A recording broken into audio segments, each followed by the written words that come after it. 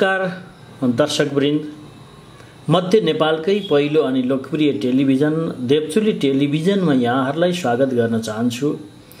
आज हामी देवचुली टेलिभिजनको कृषि सन्देश कार्यक्रममा छौँ। यस कार्यक्रमभित्र हामीले कृषिमा भए गरेका सम्पूर्ण कुराहरूलाई यस कार्यक्रमभित्र ल्याएर कृषिमा के गर्नुपर्छ के गर्दा यसलाई अझ उच्च स्तरीय बनाउन सकिन्छ। आधुनिक कृषि प्रणाली अर्ग्यानिक कृषि प्रणाली अन्तर्गत रहेर हामीले यसमा कुराकानी गर्ने गर्दछौँ र आजको कार्यक्रममा हामी काउसती नगरपालिका वडा नम्बर एकमा रहेको विजय एन्ड मौरी पालन र मह भवनमा गएर सम्पूर्ण जानकारीसहित भिडियो छायाङ्कन गरेका छौँ र यहाँका सञ्चालकसँग गरिएको कुराकानीलाई मुख्य विषयवस्तु बनाएका छौँ लागौँ कुराकानीतर्फ। नमस्कार। नमस्कार हजुर। आराम हुनुहुन्छ? एकदम एकदम आरा- आरामै छु। अ, हामी परिचयबाट सुरु गरौँ। हस् हुन्छ। मेरो नाम भन्नुपर्दा प्रमाजित सारू मगर हो। है, काउसुते एक वार्ड नम्बर एक रिटेपानी मेरो यस ठाउँलाई रिटेपानी भनिन्छ र यो मेरो मौरी व्यवसाय सुरु चाहिँ मैले दुई हजार पचहत्तर पचहत्तरदेखि सुरु गरे हो र अहिले मेरो सुरुवात विगतका दिनहरूमा विदेशमा थियौँ होइन विदेशमा जागिर गरिराखेको थियो कुन देशमा हुनुहुन्थ्यो म विगतमा मेरो जागिर पहिला बहरेन गइयो। हजुर। त्यसपछिको समयमा मलाई अलिकति सन्तोष भयो। फेरि म कुवेत गइयो। कुवेतमा छ वर्ष चाहिँ गरियो सर। अनि कुवेतबाट फर्केर यहाँ मौरी पालन सुरु गर्नुभयो। कुवेतबाट फर्केपछि अनि म अब के गरौँ भन्ने अवस्था भयो त्यतिखेर घर आएपछि। अनि मेरै साथीहरूले अलिक हौसला दिनुभयो। मेरै क्लास ट्रेनर हुनुहुन्छ चेतबहादुर रावल। उहाँहरू चाहिँ मेरो क्लास ट्रेनर हुनुहुन्छ। उहाँहरूले नै एउटा प्रोत्साहन दिनुभयो मलाई के हामीले गरिराखेको छ तिमीले नि गरेर के भएर अब सँगै हिँड्ने हो काम सँगै गरौँला भनेर उहाँले प्रोत्साहन गर्नुभयो। उहाँको प्रोत्साहनले गर्दा म अहिलेसम्म यहाँ यहाँसम्म आइपुगेको छु म। र मेरो मौरी पचहत्तर सालदेखि मैले सुरु गरेँ हो त्यतिखेर उहाँसँग किनेर नै मैले सुरु गरेँ बिस घारदेखि सुरु गरेँ हो। मैले अहिलेको समयमा मेरो मौरी घार लगभग अस्सीदेखि सयको हरारीमा छ। र यो काम गर्दै जाँदाखेरि अनि काम गर्दै जाँदाखेरि अनि मलाई धेरै सरकारी निकायबाट पनि मलाई अनुदानको सुरुवात भयो। पहिला सुरुमा मलाई नगरपालिकाबाट सहायता भयो मलाई। नगरपालिकाबाट के भयो हजुरलाई? के पाउनुभयो नगर नगरपालिकाबाट मलाई मौरी घरहरू दिनुभयो डेढ लाखको सामानहरू मलाई दिनुभयो। हजुर। अनि उहाँबाट त्यही यो मौरी घरहरू सहायता गर्नुभयो। त्यसपछि लगातार अनि ज्ञान केन्द्रबाट पनि सहायता भयो। ज्ञान केन्द्रबाट हामीलाई धेरै मौरीहरू चाहिँ मौरी सङ्ख्याहरू वृद्धि गर्नको लागि मौरीलाई राम्रो स्तरमा पुर्याउनको लागि उहाँहरूबाट धेरै सहयोग भयो।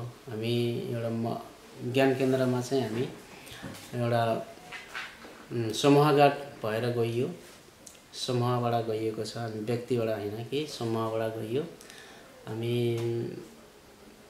त्यहाँ चाहिँ एउटा पकेट पकेट क्षेत्र बनाएर गएको थियौँ कुन क्षेत्रलाई पकेट क्षेत्र बनाउनु भएको छ? हाम्रो यो मौरी मौरीकै लागि न सर मौरीको लागि न हामी पकेट क्षेत्र बनाएर हामी गएको थियौँ।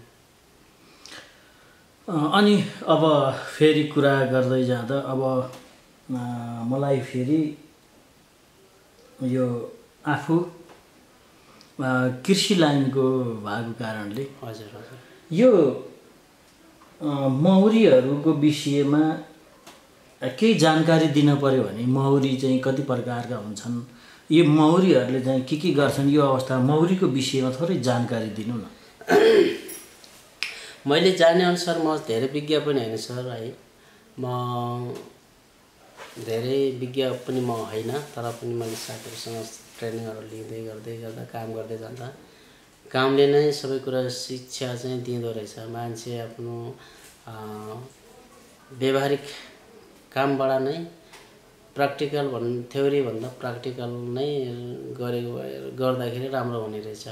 थ्योरी हामीले पढ्छन् बिर्सिहाल्छन्।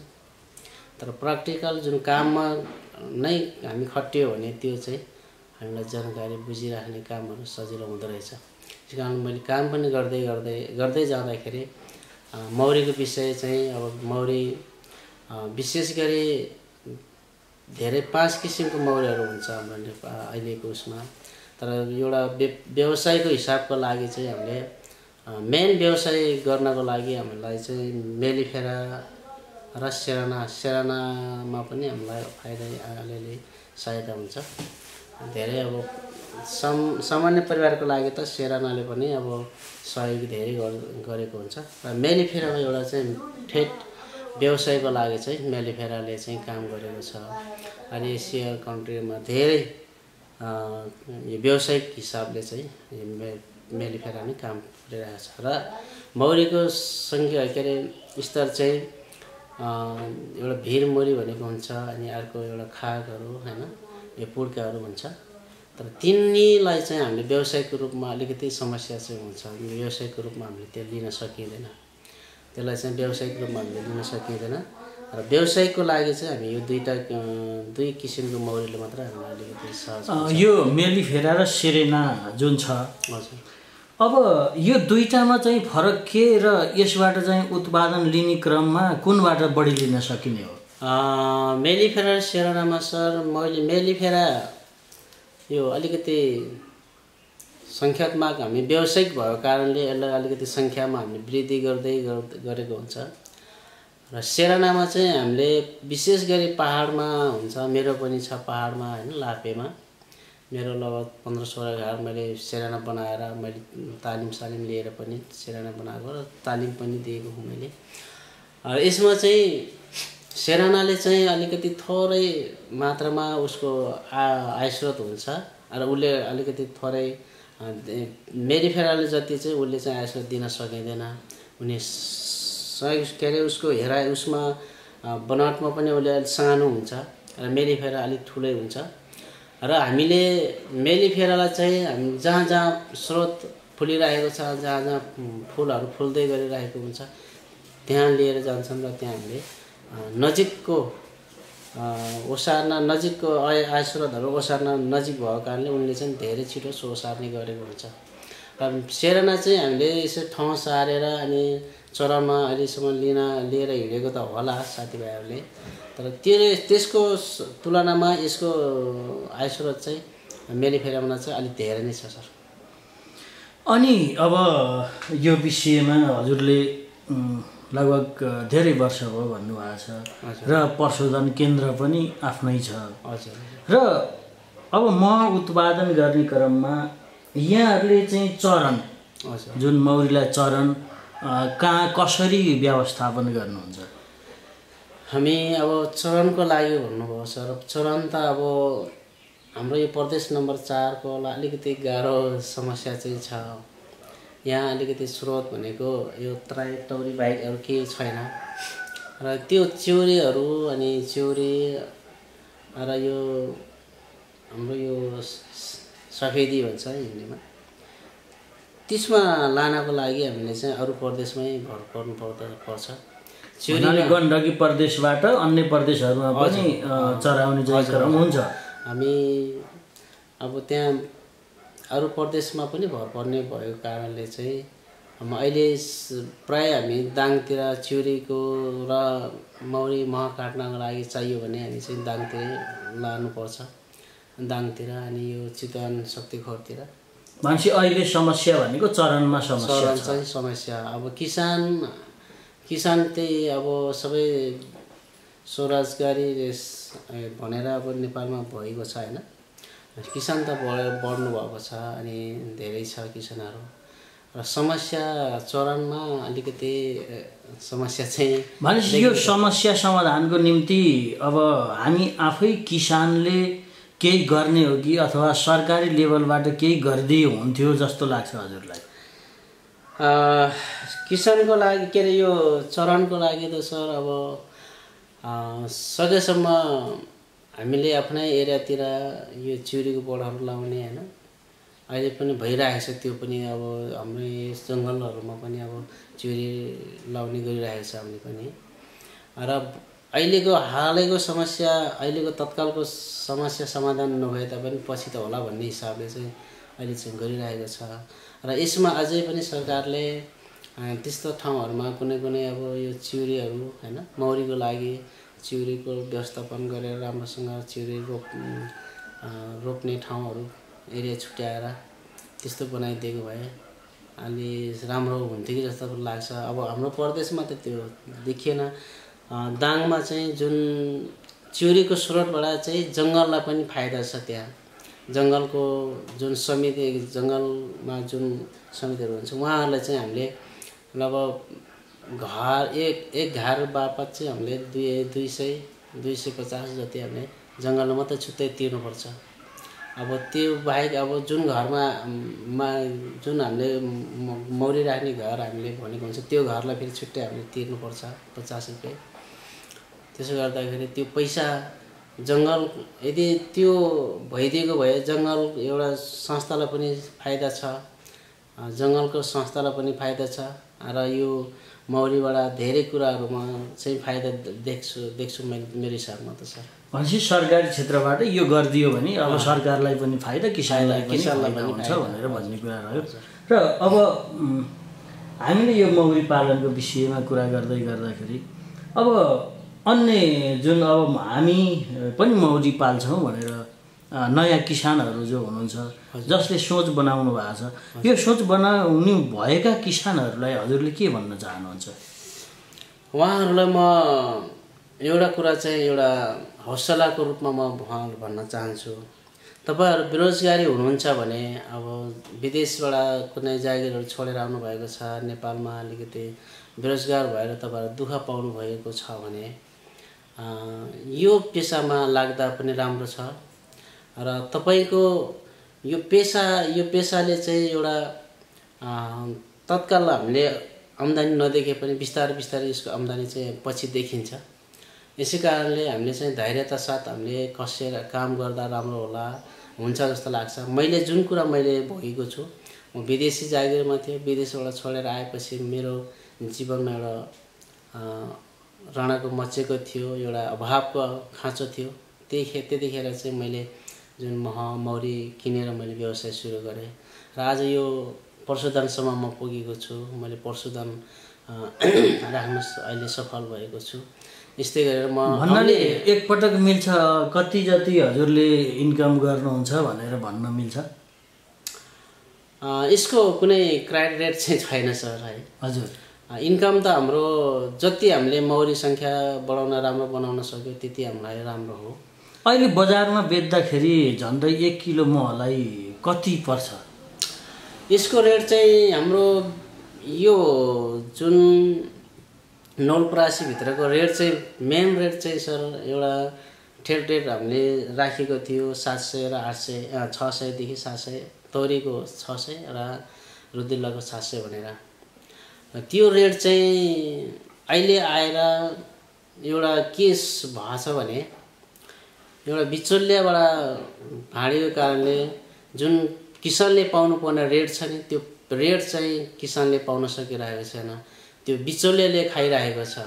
बिचौलियाले खाएपछि बिचौलियाले लिएर गएपछि बेचेपछि त्यो बिचौलियाले फाइदा उसले लिन्छ र म जुन किसानले पाउनुपर्ने रेट भनेको जम्मा चार सयदेखि तिन सयदेखि चार सयमा आउँछ। भनेपछि हजुरले यो प्रशोधन गर्दा अन्य किसानहरूको ल्याएर गरेर दिनुहुन्छ कि त्यसको के छ?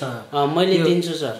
कस्तो कसरी कसरी गर्नुहुन्छ? मैले अहिलेसम्म अब मेरै साथीभाइको मैले प्रशोधन गरिरहेको छ। उहाँहरूलाई मैले मैले यही भन्दछु। र आफ्नै साथीभाइ भएको कारणले लाइनको मूल्य तिर्नुहोस् तपाईँहरूले। लाइनको मूल्य तिर्नुहोस् आउनुहोस् प्रशोधन गर्नु भनेर यसो भनिराखेको छ। प्रशोधन गरेर हजुरले पठाइदिनुहुन्छ। लाइन माने अ, बिजुलीको बिजुलीको पैसा तिरेपछि उहाँहरूले प्रशोधन गरेर लान सक्नुहुन्छ। हजुर। यो चाहिँ नवलपरासीको हकमा कि यो देशैभरि जहाँ जुनसुकै कुनाबाट आए पनि? होइन मेरो यो क्षेत्रभरिको लागि सर। मैले यो क्षेत्रभरिको लागि। यो क्षेत्र मेरो जुन एरिया छ नि मेरो कौशली नगरपालिकादेखि लिएर मेरो कौशल देवसन नगरपालिका छ नजिक हाम्रो नजिकै छ। हाम्रो साथीभाइ सबै अब एक एक छ र उहाँहरूले चाहनुहुन्छ भने आएर हुन्छ अब हामी यसलाई चाहिँ अन्त्यतर्फ जान्छौँ। यो अन्त्यमा मैले के भन्न चाहेँ भने के भन्न चाहेँ भने यहाँलाई अब हाम्रा बेरोजगार भएर बसेका युवा युवतीहरू विदेशिएका युवा युवतीहरू विदेश जान लागेका युवा युवतीहरू जुन जमात छ यो जमातहरू अनि फर्कन लागेका नेपालमा गएर के गर्ने होला भनेर त्यस्तो सोच बनाउनु भएका हाम्रा जति पनि युवा जमातलाई हजुरले के सल्लाह सुझाव दिन चाहनुहुन्छ? म यही सल्लाह दिन चाहन्छु कि सर उहाँहरू आएर मेरै हालत त उहाँहरू पनि जसरी नै हुन्छ पनि। आएपछि यहाँ तडपिने हुन्छ तडपेको हुन्छ। र उहाँहरूले चाहिँ कतै केही नपाएको खण्डमा उहाँहरूले केही अब आय आय स्रोत नभएको खण्डमा यदि उहाँहरूले म पनि केही न केही मौरी नै पाल्ने विचार गर्छु भनेर उहाँहरू आउनुभयो भने उहाँले स्वागत छ उहाँहरूले आएर पाल्दा राम्रो हुन्छ। तर हुनसक्छ कुनै बेला उहाँ उहाँले खोजेअनुसार चाहिँ नाफा कमिसनहरू आउ नआउन सक्ला त्यो चाहिँ धैर्यता चाहिँ हुनुपर्छ सर। धैर्यता पनि हुनुपर्छ र आफू पनि लगनशील त हुनुपर्छ। मानिस लगनशील त भएन भने त्यो काम चाहिँ सफल हुन कहिले सक्दैन। यही भन्न चाहन्छु म अ, हुन्छ धन्यवाद। यहाँलाई अन्त्यमा केही छ भने फेरि पनि। हस् धन्यवाद छ। धन्यवाद। हुन्छ। म तपाईँलाई धेरै धेरै धन्यवाद दिन चाहन्छु। यहाँ यो उसमा मेरो फर्ममा आइदिनु भयो मैले भन्नुपर्ने कारण त अब के नै छ सर हाम्रो यो विशेष गरी सरकारले हाम्रो मौरी किसानहरूको जुन मूल्य रेट छ नि त्यो मूल्य रेट चाहिँ एकीकृत बनाएर सीमित मूल्य बनाएर र कुनै एक एक उसमा चाहिँ बनाएर हाम्रो जसरी दुधहरूलाई दुधलाई बनाइरहेको छ त्यही हिसाबले मूल्य बनाएर हाम्रो यो मह मौरी किसानहरूले पनि मह व्यापारीहरूलाई पनि म किसानहरू पनि त्यही गरिदिएको भए अझै उत्तम हुन्थ्यो कि जस्तो लाग्छ सर? अरू त मैले के भन्नु छ किसान अहिले अहिलेको हालमा अहिलेसम्मको अहिले भइरहेको हालमा चाहिँ हामीले आफ्नै किसानहरूले आफ्नै आफ्नै तरिकाले बेचेको कारणले आफ्नै हिसाबले बेचेको कारणले त्यहाँ बिचौलियाहरूलाई चाहिँ फाइदा भएको छ र किसानले पाउनुपर्ने रेट चाहिँ पाउन सकिरहेको छैन त्यही हो सर। हुन्छ धन्यवाद यहाँलाई। हजुर।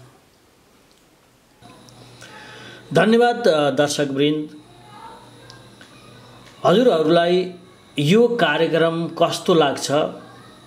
यसको सल्लाह सुझाव र प्रतिक्रिया दिन नभुल्नुहोला। फेसबुक पेज देवचुली टेलिभिजन र युट्युबमा गएर पनि देवचुली टेलिभिजन हेर्न सक्नुहुनेछ यहाँहरूले। भन्दै म आजको कार्यक्रमबाट ओझेल पर्न चाहन्छु। कार्यक्रम हेर्दै गर्नुहोला सुन्दै गर्नुहोला। धन्यवाद। नमस्कार।